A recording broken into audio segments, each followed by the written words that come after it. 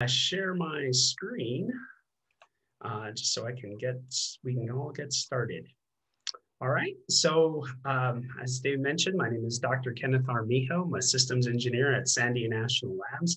And I'm gonna be talking today about uh, some really exciting research that we're doing with next generation concentrating solar power for the 21st century.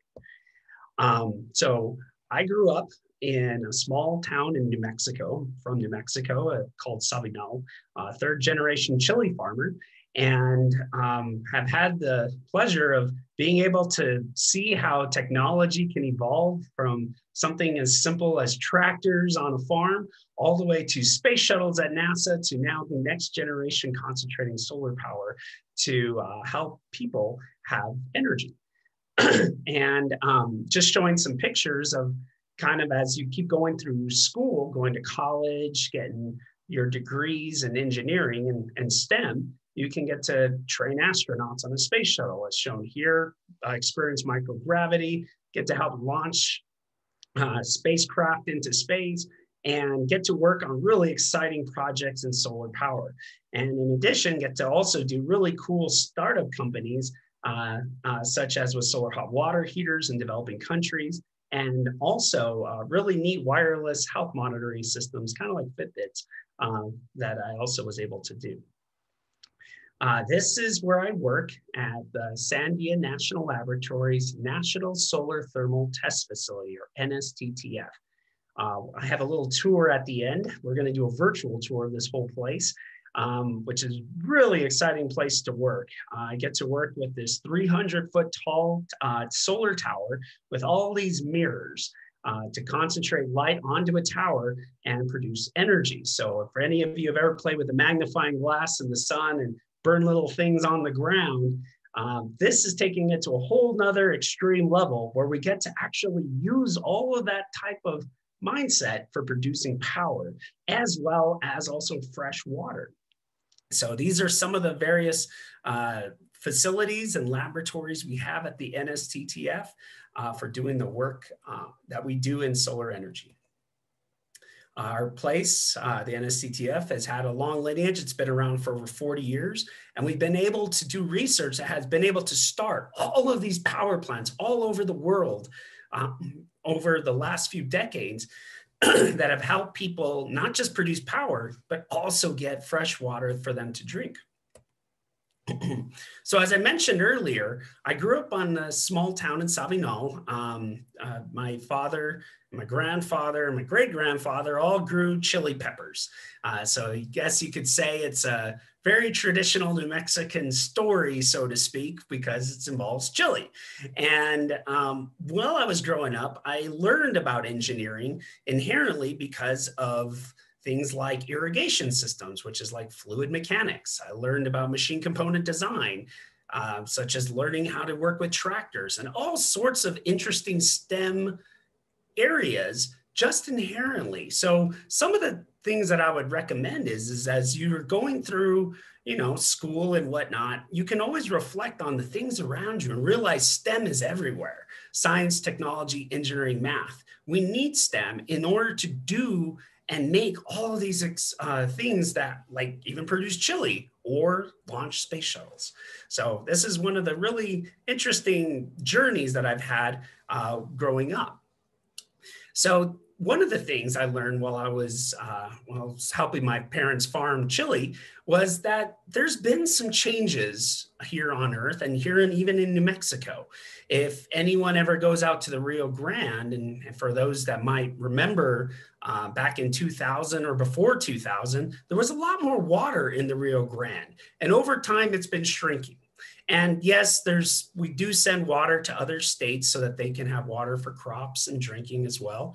But we also uh, have been having less and less water because of things that are happening to the environment, uh, things like climate change, uh, where the overall uh, temperatures of the earth are getting warmer. And what we've been finding is that the various levels around New Mexico of water in our lakes, rivers, streams has been decreasing over time. And so with the scientific mindset or STEM mindset, I've been asking the question, why is that? And a lot of other people have been asking that same question. And what we've been finding is that in addition to needing the water to grow crops and use it for agriculture as well as you know our own consumption uh, we've been finding that there are other factors that are causing uh, less and less water. We actually need water in order to run heat engines or power plants in order to produce electricity. So water and electricity are inextricably connected. You need water in order to produce power much of the time with these power plants.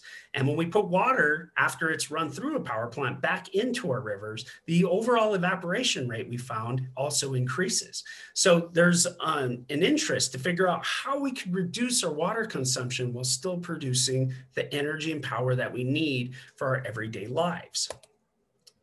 And what we're finding is, is that uh, as the population on Earth overall increases, and there's some projections that the population will continue to rise, the demand of having electricity and energy also increases. So we need to figure out ways in order to address this demand for energy in order to also sustain our planet at the same time. And what we also, some might ask, is why do we even need electricity? And so what we found is, is that as people uh, grow, are basically surviving and thriving in different locations around the world, especially in developing countries, uh, the use of energy looks a lot different than when we what we see when we flip a switch on our stoves or our lights or anything like that with electricity, where incomes are higher. Uh, we find that people tend to burn a lot of different biomass in order to produce heat, in order to cook and do various things, or they burn kerosene in order to have light. And what we're finding is, is that as uh, as people are doing this, there's a lot of repercussions, such as indoor air pollution and all of these negative things that could be bad for people's health. And so we do want more and more people to have access to electricity, but do it in a way, again, that is also sustainable with the environment because we also know that as more and more pollution or greenhouse gases, as some might say, and carbon dioxides, methane, and so forth are emitted into the atmosphere, it creates this kind of blanket that causes what we call re-radiation effects that also overall heat up the earth. So we need to figure out ways to reduce this impact of greenhouse uh, gases so we can reduce the overall environmental vulnerability of countries, especially those at the equator because of climate change. Uh, when I was at Berkeley, I had this professor, uh, Professor Dan Kammen, who helped also get a Nobel Prize for his work in climate change uh, where he taught, told us and showed this picture that I'm showing right here that if we were to actually produce enough solar energy for a given area of these little black circles that I show on the map, we would have enough energy to provide humanity all over the world with clean electricity, um, basically for the last hundred years, the last century, even up to now. And so this is very profound because it shows the potential impact that solar energy can have on all of our lives. And again, it's not just using solar for producing electricity, but also for certain things like simple cook stoves, as shown here in this picture on the left. Now, for New Mexico, this is even more important because the solar potential has the capability of not just producing power, but also building our economy. Because the concentration, so concentrating solar power doesn't just produce energy in the form of electricity, but it could also use the heat to do industrial processes such as making cement and desalinating water, again, for water consumption. And as scientists in renewable energy, we tend to look at these little maps like you see on this bottom left, where you can see my cursor, where these are called potential maps, energy potential maps. And you'll see in the western, uh, southwestern states of the United States, the potential for solar energy is high to make electricity. What this means is if you get a solar panel and put it in New Mexico, and take a similar solar panel, the same kind, and put it in, say, New England, we will produce more electricity in New Mexico with the same solar panel as that of the one in New England because our solar potential of watts per meter squared, so power per area, is much higher in New Mexico. And what we're finding with our research is that we can help with these newer technologies that are more efficient drive the cost down so more and more people can have access to uh, renewable solar energy uh, at a lower cost. Now, for concentrating solar power, um, many people think of solar photovoltaics when they think of solar energy, where you get these solar panels and you have what's called the photoelectric effect, where uh, solar energy comes in as photons and then goes out as electrons or electricity. In our case, we use all of the heat from solar energy to drive uh, power systems that drive a turbine, that drive a generator to make electricity. Um, and with concentrating solar power, we have this unique advantage other than solar photovoltaics and PV, where we can store it for up to 15 hours. What that means is that in the mornings when everyone wakes up, as you see in this bottom right plot, uh, we all turn on our televisions, we turn on our coffee makers, our stoves to eat breakfast, and all of that. And then we go to work or go to school. But uh, this period when we're all going to school and going to work is when the sun solar energy is at its peak, when we're actually producing more heat because that's the middle of the day. And what happens is we then go after work and school, we come back home and we turn everything back on. And so the demand of electricity goes up. So, how can we take this little hump right here and move it to this camel's hump where you see these two other ones. So that way you can spread out the energy when we actually need it.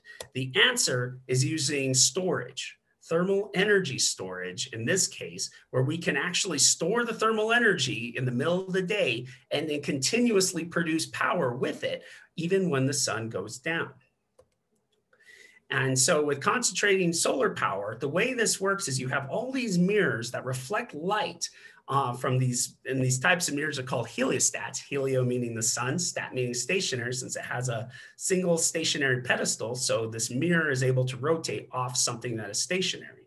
All that light is reflected onto the tower. So imagine a bunch of magnifying glasses reflecting all that light to this uh, tower, what we call a receiver, where all this molten salt, molten, uh, basically liquid salt, absorbs all of that heat and then is able to store it into two tanks and then send that salt to what we call a power block to turn a turbine to, to then turn a generator, as you can see with my cursor, to then make electricity. And what we're finding in our techno-economic analysis is if we can hit six watt, six cents per kilowatt hour, we are less than your electric bill that you right now have. So that more, again, a lower cost per uh, energy means more people can have access to that energy. Now, there are different pictures here that I'm showing of different power plants throughout the world. These ones are in Spain, this top one's in Spain. Uh, these other ones are actually in Nevada and in Arizona that show power towers, as we call them, with uh, all these heliostats uh, shining light onto a mirror, these onto a receiver. These are actual pictures of these power plants. We also have these dish systems, which are more concentrating and modular forms of concentrating solar power, as well as these parabolic troughs, which we call line focus uh, types of CSP. Now, uh, I mentioned efficiency. There's different efficiencies that we have to, as scientists, uh, understand and calculate so that way we can improve them to overall make uh, electricity cheaper and more available. So we have efficiencies, uh, optical efficiencies on work that we have to do, such as optics engineering on these heliostats. We have to do thermodynamic efficiencies on the solar tower as well as storage. And then we have power cycle efficiencies that we have to work on with turbines. The same types of calculations that we do for turbines also extend to aviation. So if you've ever ridden on an air on a jet airplane, you see those things spinning, those are turbines just the same. So similar types of calculations are also done when we're producing power. We also look at concentration factors, which means for a given area, so if you take uh, a, a, line of three feet in one direction, a line of three feet in the other direction, you basically have one meter squared. And so there, and for New Mexico, I was showing earlier, for the amount of power, the potential solar energy, we have about a thousand watts of power per meter squared. Um, and so we can, and we call that a concentration factor of one. So as we use other types of CSP technologies, we can get higher and higher concentration factors, which means more and more potential for producing electricity. These are some aerial views of these parabolic troughs that are miles long that we produce electricity. And you can see the little power plants in between all of these uh, troughs of mirrors and tubes that are uh, producing power. And here are the tanks that we actually store the thermal energy in. Uh, these are uh, power dishes where we have these engines similar to your car engine, where you have pistons that are driven by the heat from these dishes to actually produce electricity and turn piss and turn an engine just like in your car. These are probably the crown jewels in the United States for concentrating solar power. These are the Ivanpah uh, facilities uh, where you have three power towers. If you ever fly over uh, Nevada and Southern California, you can sometimes see these from an airplane where they produce all of this electricity on demand. And of course, the Crescent Dunes facility, which is massive. Each one of these mirrors, for any of you who have ever been in a portable classroom, one of these mirrors is the size of one of those classrooms. It's miles in diameter. And you have this 800 foot tall power tower that is what we use to produce electricity for both Las Vegas and Reno, Nevada. Now, in the 21st century, this CSP technology is going steps further. Um, I've had the honor to be a part of this uh, whole energy initiative to look at three different phases of matter solids, liquids, and gases to produce power for the 21st century, which means going to higher temperatures and higher efficiencies. Um, and as many of you have ever learned in school, uh, you have solids, where these solid particles that look like a fluid in a way whenever the particles are so small. Uh, liquids, we call those molten. This is a picture of molten uh, salt. It looks like a liquid again, it looks almost looks like water. And also gases, where it's interesting, where if you take gases such as carbon dioxide, heat it up to very high temperatures above 700 uh, degrees Celsius and very, very high pressures, like over seven megapascals, you start to get gases that act like liquids. As that happens, you actually are able to produce more and more energy in these turbines to produce electricity. Uh, for the research I do, I focus on liquids with these molten salts that go to even higher temperatures than the current nitrate salts. I use chloride salts. So anybody that's ever driven on the roads, especially these days in the snow, and you see all this uh, red dirt, that has a lot of what we call um, uh, chloride salt that goes on the ground. Just and there's other types of chloride salts such as table salt and fertilizers that when you combine all these salts together, we get a molten salt that can produce a lot of electricity. And we also get to work with countries all over the world to, that are also interested in concentrating solar power, such as this power plant in Australia that also uses sodium and metals, where we actually make the metals into liquid and use that to produce power just the same. Uh, we're doing a lot of interesting research as engineers. We get to do all of this costing and really exciting design work to produce these little diagrams like you see on the right to figure out how we're going to produce the power. And as engineers, I also get to, as a mechanical engineer, I get to also design with computer aided design or CAD, these really neat uh, design work uh, and engineering drawings so that way construction companies can go and build these sorts of things. Uh, we also use particles, as I mentioned, such as these fluidized particles, where we take all the particles, we make it really, really, really small, and then we make curtains of them where the solar energy is incident on these curtains of particles. They absorb all this thermal energy, and then we get to put them through another type of power plant just similar to the, the other ones with the liquids to produce electricity. We can also store the thermal energy in these fine particles, even like sands, that can absorb this thermal energy for even greater than 15 hours of thermal energy storage. This has the potential for really changing a lot of things, even when the sun goes down, that we're still using solar energy. Uh, this is a picture of one of those uh, this falling particle receiver that we test on our solar tower, you can see the high concentration here uh, when all the sun is shining on this little power plant. As mechanical engineers, we get to design these types of structures, uh, and you learn a lot about that when you get to college or your senior year of high school uh, to produce all of this electricity and make these really impressive structures that can also be used for other applications, even beyond energy. Uh, here's some more pictures. You can see this curtain. The particles are so tiny and so pushed together that almost looks like a single metal sheet, but these are actually flowing particles uh, coming off of this top hopper. Um, for any of you have ever uh, gone to Dave and Buster's or these different uh, Chuck E. Cheese places and you've used these little chips that like bounce and bounce and bounce as you drop these little chips down these uh, little uh, shafts, uh, we also do the same kind of thing with particles on these what we call chevron looking geometries for helping to keep the particles from falling so fast so that they can absorb more and more energy for producing power. Uh, the other phase of matter, uh, gases, as I mentioned, what we can do, such as with carbon dioxide, is heat that, that gas really, really high and put a lot of uh, pressure on it. And we can actually produce electricity as well from these supercritical gases. Here's a picture of the engineering design where we could store all of that gas after the sun goes down and still continuously produce electricity uh, long into the evening.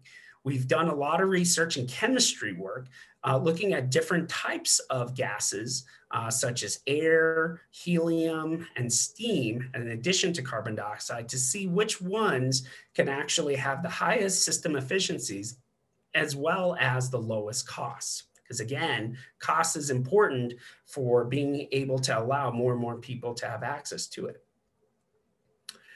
And finally, the other item that we can use uh, concentrating solar power be, or concentrating solar energy beyond even just making power or electricity is to use all that heat for desalination. So for any of you who have ever gone to the ocean and gone out and swam, you'll notice that the water there is really, really salty. Now, in uh, on land, uh, for us land lovers, uh, if you drill down deep enough in the ground, we get to what's called the aquifer, where we get our water for consumption and for swimming pools and all sorts of different things.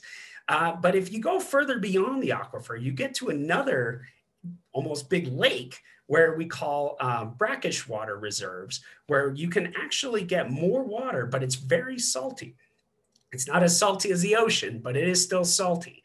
And so what we do is we can take up that water and we can do what's called brackish water desalination. And this type of desalination is important because as more and more states and locations get very dry, we want to be able to desalinate that water in order for us to have more uh, to drink. And so uh, there's a lot of research work we do in solar thermal desalination in order to produce not just power, but water. So now I'm going to take us all on this virtual tour of the NSTTF. So this is where I work. um, these are the heliostat mirrors that I showed you in that first picture at the very beginning of my presentation. You can see that we have very, very many mirrors that are all around us. And um, whenever we're uh, getting ready to test, we do some research on these mirrors in our optics lab, where we can use different types of virtual reality and various uh, instruments to figure out ways of shaping the mirrors to make them highly concentrated onto a uh, onto our solar tower. Now, if we go ahead and just move a little bit closer into the tower, or at the base of the tower, I should say, you can see here, we're looking now out to the heliostat field. Here are my uh, colleagues that I work with at the solar tower and friends, and we're basically getting ready to set up for an experiment. Now, inside the solar tower, this is a one of a kind facility. where we have different levels where we set up experiments that we're going to use this heliostat field, produce electricity and energy and all sorts of different things. Um, but we have different levels that we set up experiments. You can see some of my colleagues here on the radio working their radios to coordinate with other people. Now, in the middle of our solar tower, you might be asking, what? Why is there the big old empty space here? Well, um, the middle of the solar tower actually has a giant elevator that is three stories and over 100 feet tall that goes all the way down 100 feet below the ground um, whenever we're setting up experiments and then can go all the way to the top of tower, which we'll see in just a second. Now, uh, let's see if we show some of these uh, different videos, we can show the, the, the generators that we use in the solar tower. This is one that was used to be on a battleship that we actually brought to the solar tower to produce electricity. Um, you could also see the chains here in the background uh, that actually pull up that giant elevator to the top of the tower. Now, if we go up and look up, you'll see that there are many more stages that go all the way to the top of the tower, and you'll see these various silver piping, and I'll talk about those in a second, that also help to transport uh, liquids to the top of the tower, such as molten salts. Let's see here. So we'll go ahead and head up uh, the tower. Let me find my little uh, picture real quick. Actually, we'll just go right here. So now we are on top of the solar tower. Uh, from the top of the tower, you could see all the way to Santa Fe if you were uh, able to come over to Sandia National Labs, and you could see all the way down to Socorro. It's a very high area, like I said, over 300 feet tall, that you can see so much. And you can now look down and see all of the entire heliostat field. Um, and just to show a little picture of the heliostat field, um, if the little video will get started, here we go. Okay, I guess I'm having a little technical difficulty right now, so I won't show that video. But you can see all the solar tower uh, facilities or NSTTF facilities. We have our parabolic troughs. Uh, we have our uh, solar furnace, which we'll, we'll go over to in just a bit. And you can see some of our other manufacturing where we do our welding or our shop work. Uh, so that way we can build our experiments for uh, testing. Now on the top of the solar tower, we have a test stand here. Uh, and we also have a giant falling particle receiver. Uh, this is the one where we have those fluidized particles that fall. They're very tiny particles that are all connected together that fall. And we use concentrating solar energy uh, to heat them up and then uh, produce electricity. And there I am up here fixing one of the pucks. Uh, they look like hockey pucks that uh, cover up these screws and bolts because if the solar energy hits those bolts, they actually get really hot and they can actually turn into a liquid, just like molten salts and metals.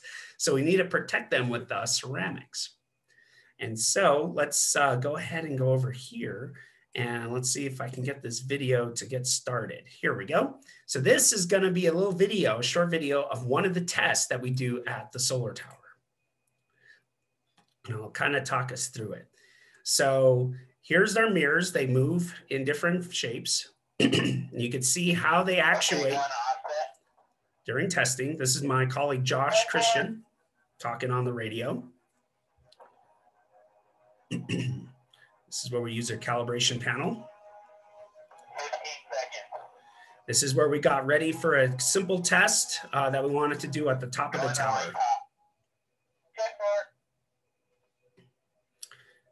These are my colleagues that do welding. This is our calibration panel as we heat it up to get our flux level.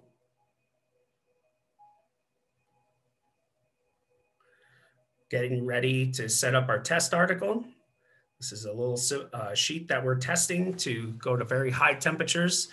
This is for a receiver material test. Five, four, three, two, one. Going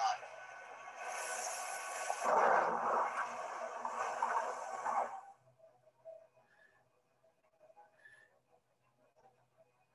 You can see how much power the sun really has when we actually do these tests. It's incredible.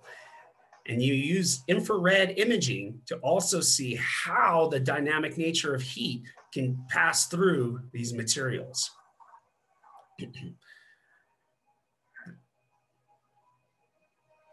So this overall shows the amount of power that is capable, but it also allows us to do thermal dynamics and uh, thermal energy research to assess different materials that could go on these receivers, see if they will hold up to these very high temperatures. So when we're done with an experiment, we bring it down and we do post-test characterization. This is something that scientists have to do to look at how things warp or deform. We also do research for forest fires. We take a tree that we can model in our computer aided design and we understand, we instrument it with thermocouples and all sorts of instruments so we can understand how these trees, as they burn under different levels of flux, how these trees will ignite and fire, and then how we can see how forest fires work.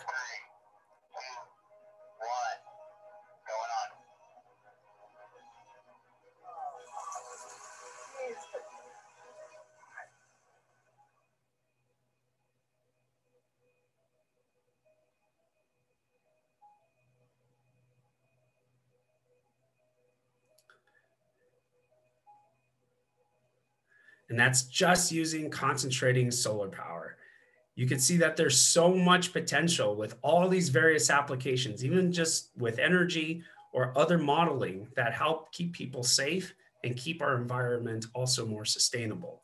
This is just yet another application space that we do our research in heat transfer and thermodynamics work. So we will go back to our, uh, let's see here. We will go back to uh, the top of the solar tower. That's our little video here. And you can see uh, this is the test stand that we did that test. And here are those uh, hockey puck looking uh, ceramics and the little test stand with some shutters that we can also do other tests for materials, including those for aerospace applications. Now, the other place that I'm gonna show is our solar furnace. This solar furnace has a single dish uh, we use different types of gases. Uh, this is one of uh, my interns setting up an experiment with nitrogen gas, uh, where the way this place works is you have concentrating solar light uh, reflecting off the surface of one of these large heliostats that passes through an attenuator. So all that light passes through this uh, shutter that look like little blinds that open and close. And when they're completely horizontal, all the light passes through, reflects off this dish over here and onto uh, this little target. Um, whenever uh, we get ready for experiments, we have people in our control room uh, we all uh, basically huddle in here, look at our computers and instruments when we do a test, make sure we're out of harm's way because that light is super hot, as we just saw in that video just a second ago. And so we need to be protected in the control room when we run tests. Uh, so when we do run tests, you'll see the little stage going up. You see the light passing through, reflecting off the stage, and eventually it makes its way over to the stage where we actually run our experiments at high flux. so uh, whenever we do run a test, you can see the mirror, you see the attenuator. Attenuator means something that can be varied in terms of the light. You see how it opens and closes. And this helps to allow light to pass through to that dish. Uh, there's a lot of engineering that goes into this design work, as well as other trades work, such as welding and machining, that's important to build these sorts of experiments. And uh, that's kind of on the control room. We have a lot of uh, equipment, such as high-speed cameras that we set up that can uh, operate at a million frames per second. So if you ever taken a picture with a regular camera or your cell phone, those don't go that fast. These ones are million frames per second. So you can easily see things like hummingbird wings moving and droplets of water pouring off of a little spigot. So the final place we're gonna go is our control room when we're actually testing at the solar tower. Now, uh, when we test, we have various people in the control room uh, looking over engineering schematics, radioing to the people in the test tower. And we also have the test director leading all of the different uh, people and various uh, activities going on. We have all these computers running to um, evaluate an experiment. So uh, I will go ahead and share this little video here. This is Josh Christian, my colleague, running uh, the test tower operations.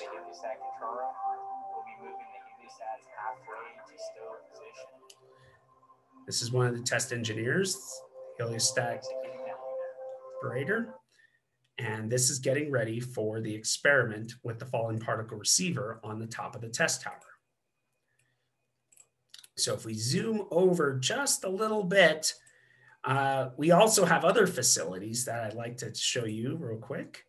Uh, this is our solar uh, simulator facility. We use little lamp banks where we test all these little different materials in concentrating solar light behind you. we use different types of light bulbs for doing this. Excuse me. And we use these big lamps, these big lamps that really concentrate light, similar to our heliostats in the sun, but do it in a very controlled manner, down to a very small spot size, about one inch squared, to actually evaluate heat on very tiny materials, as you can see here. Uh, we have to use gloves and what we call personal protective equipment to also keep our hands safe and keep us safe as scientists when we're doing these experiments. We use a lot of different types of computers and different types of software that we build ourselves in order to run our experiments. So anybody that likes to work with computers, this is really a good place for you to work. Uh, another place that we work, especially for chemists, is our uh, solar thermal reactor systems and thermal energy storage facility. So this is where we have welders that are building uh, different experiments and machinists that use different types of tools for building things. Um, we have, uh, here's another picture of one of those welders welding up big, big pieces of metal uh, for receivers that are gonna go on the top of the solar tower. Uh, we have um, construction engineers that oversee the construction with various people building different experiments at different stages. So you can see that all here with all the videos. And um, here they are walking through here. Uh, we do wear lab coats sometimes, especially when we have things that could splash onto us. We don't want to get our clothes dirty. Uh, so it's important, again, to have the right uh, equipment and things uh, that, on ourselves. So that is effectively um, the from my presentation as far as the tour. Uh, one of the things that I'd like to go back to my original presentation here is that there is a lot of solar potential on Earth and a lot of things that I've explained to you about uh, that we can use concentrating solar power for in the 21st century for producing electricity, for using the heat for doing solar thermal desalination. Uh, we can um, actually do a lot of forest fire testing. We could test materials for aerospace, for such as space shuttle tiles, nose cones, aircraft tiles, and so many other things with concentrating solar power technology or CSP. Uh, there's a lot of work that needs to be done. And I encourage you all to consider STEM as a career as well as the various opportunities it can provide. For, since for me, it's provide allowed me to travel all over the world, run experiments, and talk to people in various languages to set up energy so that way we can all live very healthy and happy lives. So um, I, I, guess to uh, close, opportunities abound more than you think with more and more education, especially if you go to college and get degrees in STEM, science, technology, engineering, or math, you'll find that there are so many different things you get to do, whether it be doing policy, floating around in microgravity, or setting up big concentrating solar power facilities. You'll get to do so many really exciting things. And no matter what happens, always get try to give back and never give up. So thank you very much uh, for this opportunity to talk to you all. And um, yeah, just see if I guess there's any questions or I don't know, Dave, if if uh, I guess what the next step is. Sure. No, that was amazing. Yeah, I we were uh, definitely enjoying it on this end over here. that right. is super cool, and I I really appreciate your story, your your personal story about you know learning uh, STEM in other fields, quite literally, I guess. But uh, you know, it, and then moving on, I think that's really cool. That is really cool. I, I kind of come from the same background, uh, from construction to teaching here. So, um, if you do have a couple questions in the chat, I don't know, uh, like how do you keep the mirrors clean? Uh, things, you know, if you if you've got a minute to yeah, um, to check those out. I don't know if you can um, see yeah. the chat where you're at. I'm not seeing the chat, so if you don't mind. Uh, oh yeah, I can just ask you the question. Yeah, if that's okay. Um, so the the first one I see here, which I guess would be the last one because I'm going backwards, but uh, is how do you keep the mirrors clean? How often do they need to be cleaned? Uh, and how often do they need to be replaced? Great question, because uh, what we found is that is where concentrating solar power and solar energy typically works really well, as I was showing that potential map earlier, it tends to be in the southwestern states of the US. Uh, if I go back over here, uh, much of the places in uh, New Mexico where you see all this high potential are generally kind of deserty, dry locations. And if we expand that to the world where solar energy potential is high, it's along the equator where you see the Sahara Desert and you see all these other deserts that are occurring along the equator. So there's not a lot of water. So how do you clean mirrors when there isn't a lot of water? So there's a lot of research we're doing in adding these coatings to mirrors. So that way the dirt that builds up on them uh, doesn't stick. So the dirt just kind of, uh, it, it'll touch the mirror and then it'll just roll right off. So there's research to add coatings so that the mirrors themselves inherently stay clean. We, when we do have to clean them, however, we do use uh, at least once or twice a year a wash truck that actually goes. It's a special type of wash truck that has these nozzles that gets really close and cleans them. We're actually doing research on drones. So the drones actually have a little payload of water and they clean the mirrors, but use an infrared camera to figure out which mirrors are uh, dirty enough to be cleaned. Because what we found is that although even there, there might be a little bit of dust that builds up on the mirrors, a little bit of dust actually doesn't make that much of a difference in terms of their ability to reflect light. But however, over time, you do get some grime on there and eventually you do have to clean. So we are using different types of tools so we can reduce the amount of water while still keeping uh, these uh, mirrors clean, such as infrared cameras with drones and all sorts of other really interesting technologies. That's awesome. I, I wouldn't have thought about all the science involved in just getting the mirrors clean. yeah, there's that's a lot more. Cool. Yeah, yeah, something cool. simple. yeah. Um, okay. The uh, Kobe asks, "Is this a, is this the facility I've seen looking down from the Manzano Crest?" Ah, good question. So if you're up on the top of the Manzanos, let me find my little picture here of the solar NSTTF in the background, you could sort of, if you squint, I apologize, it's kind of picture, you'll see some little mountains in the background. Those are the Manzanos. So yes, if you look north from the Manzanos, north uh, west, you will see the facility when we test. Uh, it's a little bit small, but you could still, you can kind of see it. Awesome. Um, uh, another question is how hot does it get in the power towers? I love that question. This is one of my favorites. Um, in the power tower, we use all this concentrating solar, uh, these light and all these mirrors to reflect light onto a surface. Um, the temperatures that it can get up to are higher than 3000 degrees Celsius. Now, there's different types of units. There's Fahrenheit, there's Celsius, there's Kelvin and Rankine. Now, 3000 degrees Celsius means that it's much higher temperature in degrees Fahrenheit, probably higher than 5,000 uh, degrees Fahrenheit. So really, really hot. Uh, on the top of the tower on these materials. That's part of the research we're doing because, for example, when you're coming in on reentry for uh, like an aircraft or a spacecraft, uh, you'll always see in the movies all this heat generating because of the friction of the air as it's coming in over like Mach around Mach 20. And so we can do those types of experiments because we can get to those high temperatures of like 3000 degrees Celsius or higher. That is that's insane.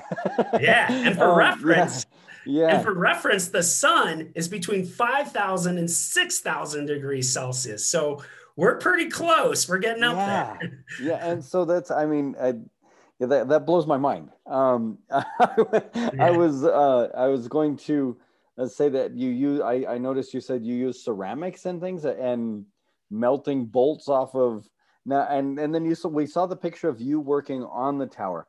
Is yeah. is there do they have a way of cooling it down before you get up there, or is it just like a Raiders of the Lost Ark? You just melt when you're there, or yeah, how does that work?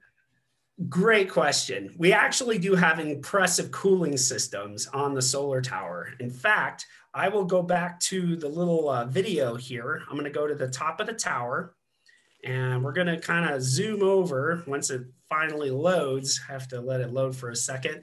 Uh, but we have very impressive cooling systems with all this piping for actually moving uh, not just water, but like refrigerants, like you'd have like kind of like antifreeze or antifreeze on steroids that we can use to cool these very uh, high temperature systems.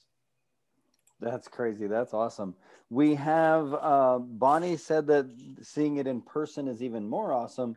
As a teacher, they attended a summer program called Power, and yes. they were able to visit the facility out there. Um, that sounds cool. I, I, need to look into the summer program called Power. I'd love to go out there and see it myself. Yeah. Um, and then another question is, uh, how do you stop the kind of paraphrasing here? How do you uh, stop the birds from flying there other than uh, their roasted chicken before they yeah yeah. We don't want any roasted chickens or roasted turkeys on our uh, in our facility. So we do uh, do some research to uh, what we call avian glare um, uh, research where we do these different where we use different types of technologies uh, and and um, different types of um, uh, how shall I say, sensors for detection of birds. So we could send out a loud noise to make them uh, kind of move away from wherever the beam is.